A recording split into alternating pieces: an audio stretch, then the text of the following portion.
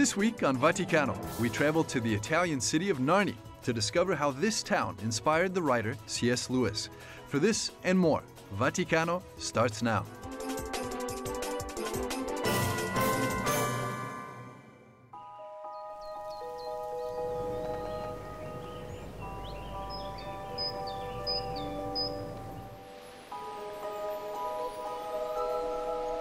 There's a place on Earth where reality meets the imagination.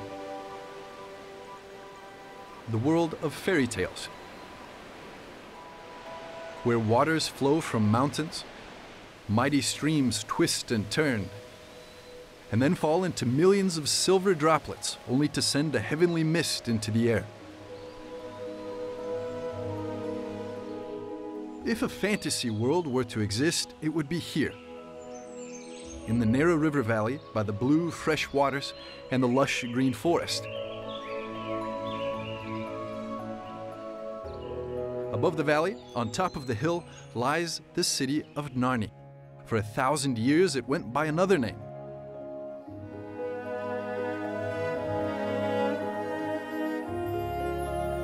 Narnia.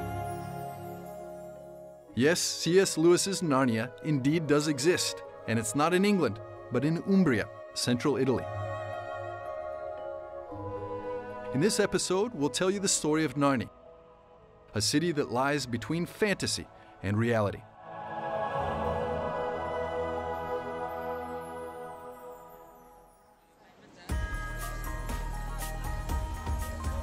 Our story begins one hour away in Rome, in the light of the Christmas season.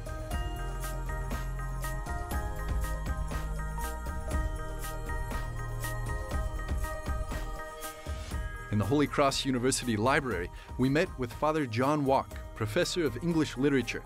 Between the books, we find the Chronicles of Narnia, written by C.S. Lewis, and Father begins his story. C.S. Lewis's book, The Chronicles of Narnia, particularly the very first book, The Lion, the Witch, and the Wardrobe, is one of the, one of the greatest Christmas stories ever written because what you find there is the very first thing that the, the Pevensie kids discover when they enter into Narnia is a world without Christmas, a world where Christmas has been abolished for the last hundred years by the White Witch. It's a, it's a winter without Christmas. And part of the story, an essential part of the story, is the return of Christmas to Narnia. So it's a perfect story for the Christmas season.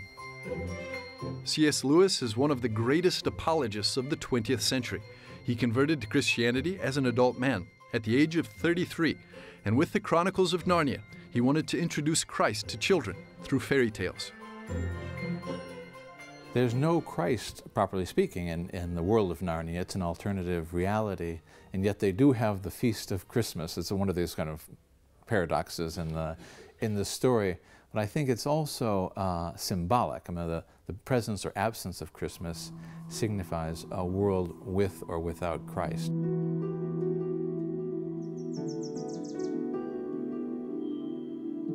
And the world that the kids encounter, that alternative reality, is a world where Christ is absent. So a world without Christmas is a world without Christ. Who would be Jesus Christ in an imaginary world like Narnia? This question guided C.S. Lewis in writing the Chronicles. Aslan is uh, the, you know, a lion, but the lion of Judah is also a symbol of Christ, of the Savior. In the story, he sacrifices his life for traitorous child, Edmund uh, Pevensie, and saves uh, the world from the power of the White Witch. So he's a symbol of Christ, the Savior who dies for the sinners. C.S. Lewis very clearly represented the battle between good and evil through the lion Aslan and the White Witch Jadis. He created the imaginary world of Narnia to help the reader to interpret the signs of good and evil and to apply that understanding in the real world. Narnia is an alternative world, an imaginary magical world, but it's actually in its name from a real Italian city called Narni, but in Latin it was Narnia, and C.S. Lewis as a young boy was reading a, a, an atlas, a Latin uh, atlas, and discovered this place in Italy. It's actually the geographic center of the country of Italy.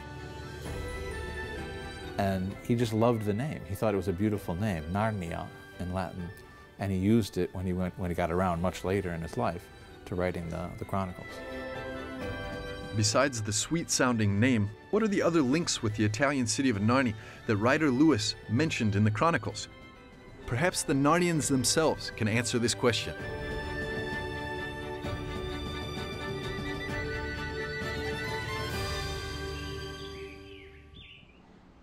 Wandering through the medieval lanes, we meet an expert of this Italian city. Io sono eh, l'ingegner Giuseppe Fortunati. I am the engineer Giuseppe Fortunati. I am the honorary president of the Vivi Narni Association. I have been working for many years on Narni's story and ancient Roman Narnia. dell'antica Narnia romana. We asked Mr. Fortunati if C.S. Lewis had ever visited Narnia, or perhaps Italy. C.S. Lewis never went to Narni, almost like the Italian writer Salgari, Era un po' come that wrote about a city eh, without really knowing it. senza conoscere la città.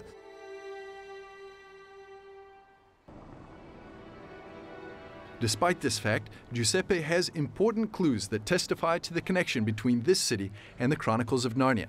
But first, he tells us the story of the town. Narni si è chiamata Narnia Narni was named Narnia 2,099 years ago. The Romans conquered this city during that time period, formerly known as Nequinum, and it was an Umbrian population living there, which was later subjected to it by conquering it 2,000 years ago, and from that period on took the name Narnia. prese il nome di Narnia. Today, only the Bridge of Augustus, built in 27 BC, remains as a testament to the Roman period of the city. This area was an important conquest for the Romans as it held a strategic geographical position. The city lays in the middle of the Flaminian Way, which links Rome with the Adriatic Sea. The bridge carries this road over the Nera River. Once, these ruins were a grand marble bridge, 30 meters high and 160 meters long. Narnia Narnia is derived from the word Nar, which means water that flows. So basically, the city of Narni takes its name from the flowing water. This is also why C.S. Lewis chooses the name. The water is the source of life. l'acqua che poi è la sorgente della vita. For centuries, the springs of the Nera River gave its living waters to the city. These blue waters are a reminder of the wood between the worlds, a mysterious realm described by C.S. Lewis in the book The Magician's Nephew, one of the seven that make up the Chronicles of Narnia. In the story, one of the ways to get into Narnia was to jump into one of the pools. This magical color, the result of the high level of copper elements in the water, gives the Nera River this particular blue color.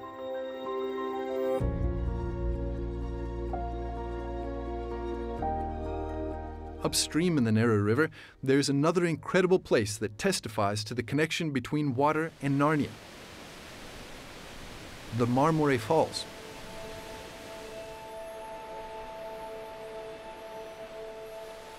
In the description of the last battle of Narnia, C.S. Lewis says, There are blue lakes and tons of water every second, flashing like diamonds in some places,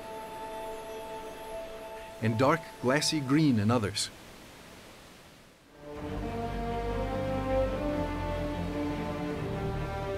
Many poets, such as Virgil, Marcus Tullius Cicero, and Lord Byron, wrote about the beauty of these waterfalls.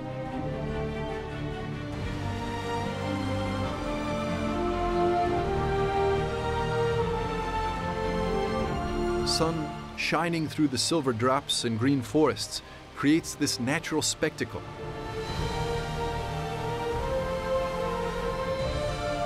Although the falls were artificially built by ancient Romans in 271 BC.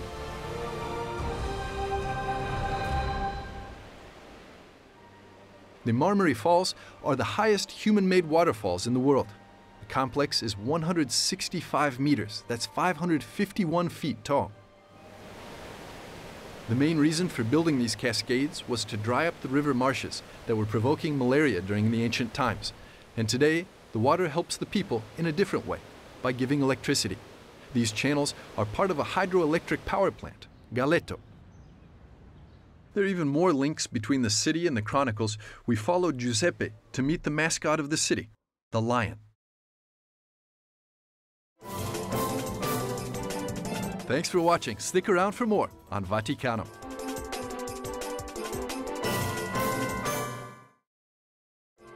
Welcome back. You're watching Vaticano. At the entrance to the museum's hall, a big lion welcomes visitors with a smile. Il leone che vediamo adesso invece è un The lion we see now is a symbol of our city because it was found approximately in 1930 during an excavation work on a road. In that context was found this lion, which is clearly from the Roman era. questo leone che If we give a close look to the character of this lion, the outside language shows a lion, like the good lion Aslan from the Chronicle of Narnia. Aslan, il leone delle cronache di Narnia. C.S. Lewis describes Aslan as the great lion, creator of Narnia. He's not safe, but infinitely good. Aslan is the only character presented throughout the entire story.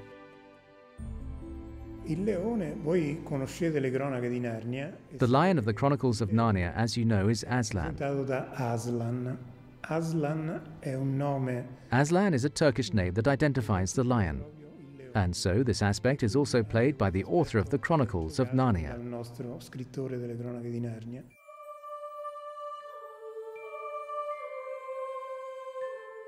Many cultures have used the lion as a symbol of power. As Giuseppe explains, it had a special significance for the Romans. C'è anche da considerare che nella storia romana It should also be noted that in Roman history, the lion was always near the emperor. Where there was a camp and there was the emperor, beside the emperor's tent, there was always a lion. Quindi questo leone, dopo per traslazione, è stato Therefore, the lion figure was taken by the Christian religion and by the Lion of Judah and so on. Also, the lion is the symbol that represents the churches, which was put inside the Emperor Celeste, the Emperor of God, and so related later to this aspect. celeste, l'imperatore di Dio. Quindi era legato a questo aspetto più ultraterreno. In the first and second books, the enemy of Narnians was the White Witch, Jadis.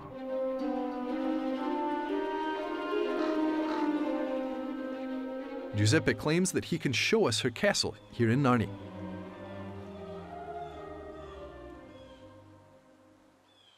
Questo è il castello di Narnia. il This is the castle of Narnia, the castle of the White Witch of the Witch Jadis, which transforms everything into ice, which is basically the symbol of evil in the Chronicles of Narnia.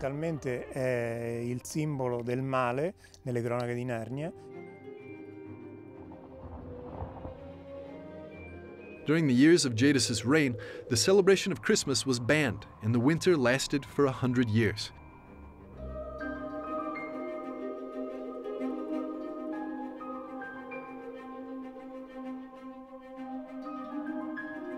This castle is also a symbol of an evil time for the people. It marks the Avignon papacy, a period of confusion and disagreement in the church and in European politics.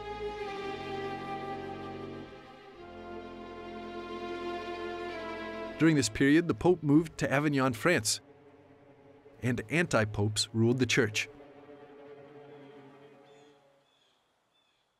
Il castello che vediamo alle nostre spalle è il, è il castello, è chiamato The castle we see behind our shoulders is called the Fortress of Cardinal Albornoz, because it was erected in 1371 by Cardinal Albornoz to bring the Pope back from his captivity in Avignon and to create at the same time a curtain of defense to Rome for the new pontifical state.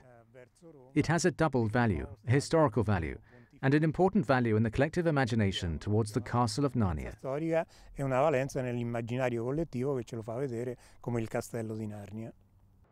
Below the castle, on the Flaminia Way, there's more proof of the similarities between the city and the wonder world of Narnia. Allora, qui ci troviamo sulla via Flaminia. We are on the Via Flaminia, the ancient Via Consolari dei Romani, that we can compare to the stone table of the Chronicles of Narnia.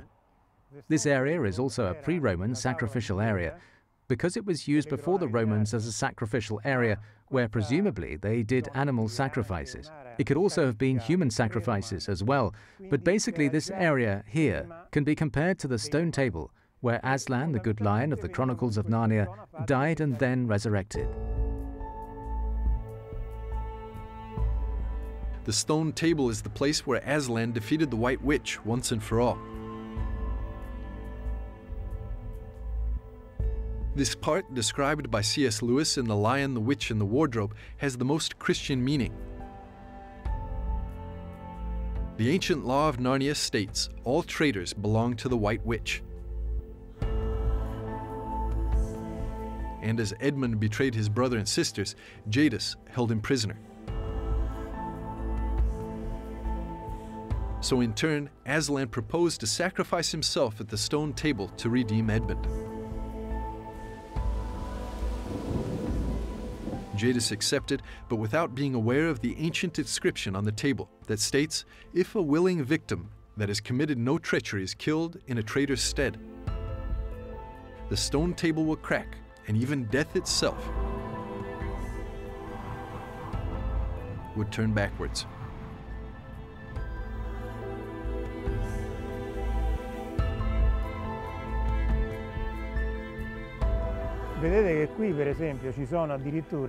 As you can see here, for example, there is the whole area of blood flowing of that time. Il sacrificio avveniva su questa tavola per poi eh, confluire con il sangue verso tutta quanta la zona successiva sotto. This stone table also had an important significance for the ancient pre Roman population of Narni. The altar is faced up towards the Nera Valley, to the river that gave life to the city. Eh, L'antichi sacerdoti Eh, Ancient eh, aristocratic priests of the pre Roman eh, divinities themselves made also human sacrifices in the area dominating the whole Black River Valley. As you already know, this area below here is the area of the Nar River. The old Nar gave the name to the town of Narnia. Nar means the flowing water, and that means the source of life and therefore the source of the resurrection. In other words, this allegory series here represented can bring us back to the Chronicles of Narnia. che ci può riportare alle cronache di Narnia.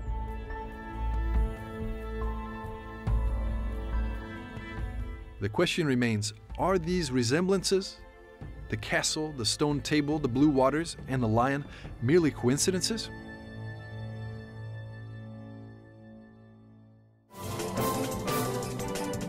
In a few moments, we'll be back with more on Vaticano.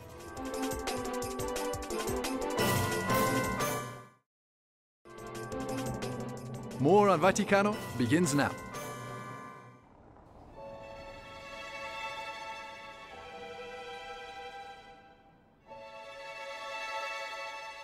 Il simbolo della città di Narnia The symbol of the city of Narni has always been the griffin. The griffin is actually half lion and half eagle. And so here in the municipal palace, you see that there are all a series of related images of this griffin. di immagini relative a questo grifo. In Narnia, a lot of fantastic animals live on the walls griffins, dragons, and lions. Quello che vediamo in questa piazza è What we see in this square is also indicated in the Narnia script that is reported on all the stones of the city. che viene riportata su tutte le lapidi della città. The town hall was built in the Middle Ages in 1273, while the griffin guards the entrance to the town hall.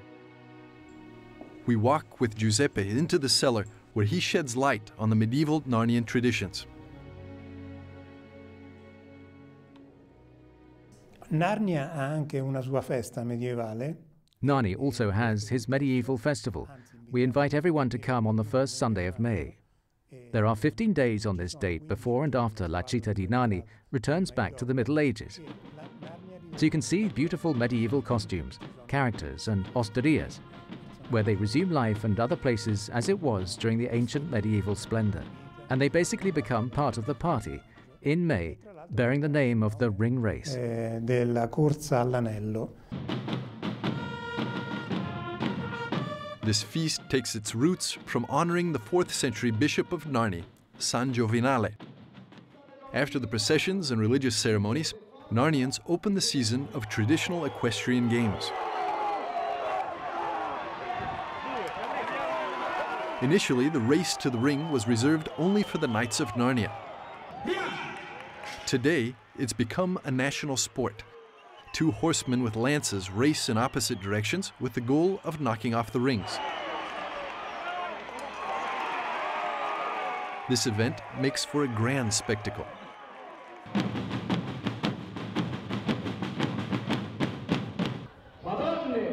Narnia è una città magica. Narnia is a magical city that has so many facets. Basically, here in this city, we have a stratification from the Narnia Romana, medieval Narnia, and from Narnia to our day. Dalla Narnia romana, dalla Narnia dei giorni nostri.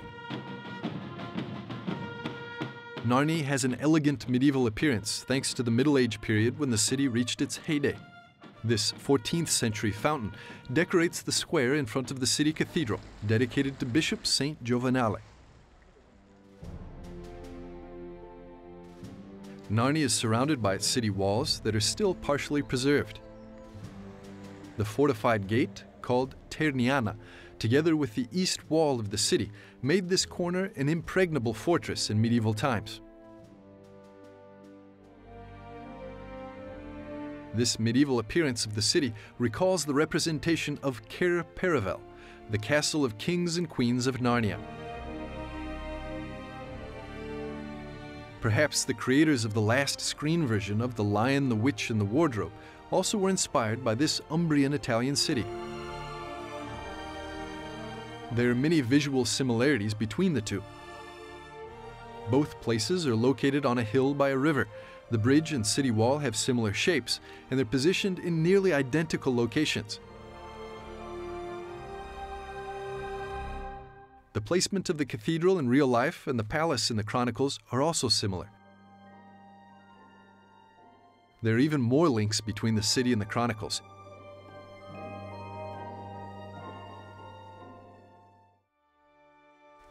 Giuseppe has his own theory that reveals the answer to us. How did C.S. Lewis describe the city without physically being here?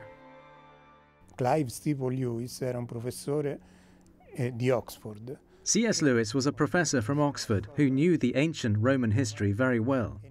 Ancient Roman history from Tacitus, Pliny the Elder, Pliny the Younger, Titus, Livius, and all the great Latin writers wrote about the city of Narni authors that he read since he was young and that he mentioned several times. Whether Lewis read about Narnia or Narnia is only the fruit of the author's imagination, there's another witness, Blessed Lucy of Narnia. La Beata Lucia può essere paragonata alla Lucy delle cronache di Narnia. Blessed Lucia can be compared to Lucy from the Chronicles of Narnia. Blessed Lucia is a Narnese saint who lived around the year 1500. Basically, there is an imaginary linking with this saint to the city of Narnia. Even in the icons where she is depicted, there is always written Blessed Lucia of Narnia, just to strengthen this bond with both the fantastic Narnia, but also with our real Narnia.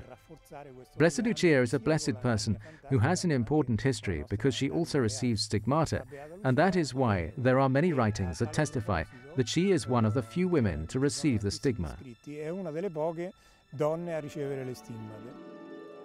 Did Lewis know about Blessed Lucy of Narni? And did he base the main character of Lucy Pevensie on an Italian blessed? We must also say that Walter Hooper, one of C.S. Lewis's most respected biographers, truly is able to compare the life of Blessed Lucia to the life of Lucy from the Chronicles of Narnia. Visiting Narni, Mr. Hooper said that after many years of studying C.S. Lewis's writings, he thinks that the author chose the name intentionally, and that Blessed Lucy of Narnia furnished for the world one of the most beloved and spiritually mature characters in English fiction.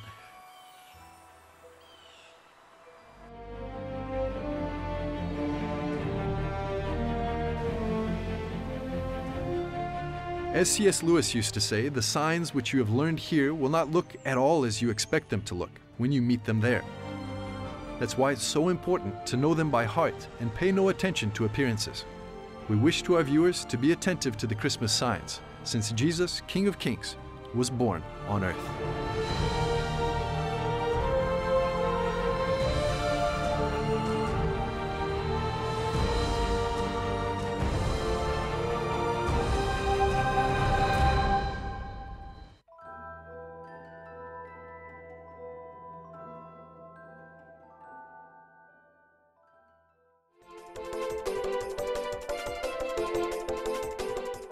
Christmas. Thanks for watching.